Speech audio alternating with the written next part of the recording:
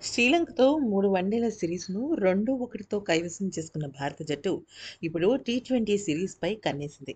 ఆదివారం రాత్రి జరిగే తొలి టీ ట్వంటీ మ్యాచ్తో ఈ మూడు మ్యాచ్ల సిరీస్కు తెరలేవనుండగా గెలిపే లక్ష్యంగా గబ్బర్ సేన బరిలోకి దిగనుంది.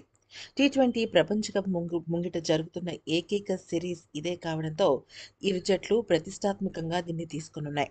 మెగా టోర్నీ ముందు తమ ఆటగాళ్ళ సత్తాను టీమిండియా పరీక్షించనుండగా చివరి వన్డే విజయంతో ఆత్మవిశ్వాసం పెంచుకున్న లంక టీ ట్వంటీ సిరీస్నైనా గెలిచి లెక్కను సరిచేయాలని భావిస్తోంది.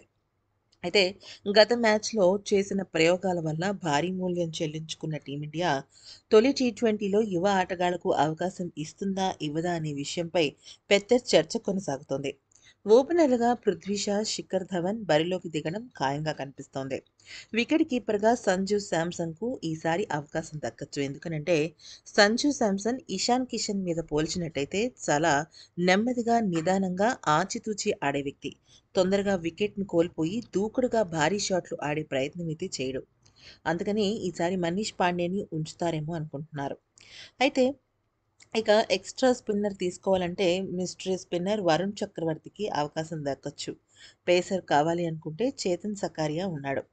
అయితే ఇక తుది జట్టులో పెద్దగా వన్ డే సిరీస్ కన్నా పెద్దగా మార్పులు లేకపోయినప్పటికీ కూడా ఒక్కసారి కనుక మనం జట్టును పరిశీలించినట్టయితే శిఖర్ ధవన్ పృథ్వీ షా సంజీవ్ శాంసన్ మనీష్ పాండే సూర్యకుమార్ యాదవ్ హార్దిక్ పాండ్యా కృణాల్ పాండ్యా దీపక్ చాహర్ భువనేశ్వర్ కుమార్ చేతన్ సకారియా యజ్వేంద్ర చాహల్ కనిపిస్తున్నారు అయితే ఇక శ్రీలంక జట్టులో అద్భుత ప్రదర్శన కనబరిచిన spinner Wanindu Hasaranga T twenty సిరీస్కు దూరమయ్యే అవకాశాలు కనిపిస్తున్నాయి ఏది కూడా టీ ట్వంటీ ఆటగాళ్ళు అంటే మన జట్టులో ఐపీఎల్కి సంబంధించిన ఆటగాళ్ళు చాలా ఎక్కువ మంది ఉన్నారు అయితే మనీష్ పాండే బదులు కనీసం దేవదత్ పడిక్కల్కు ఒక అవకాశం ఇస్తే బాగుంటుంది అంటూ చాలామంది అభిప్రాయపడుతున్నారు.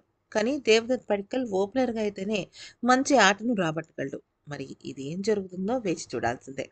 ఈ వీడియో కనుక నచ్చితే like share comment and subscribe చేసుకోండి.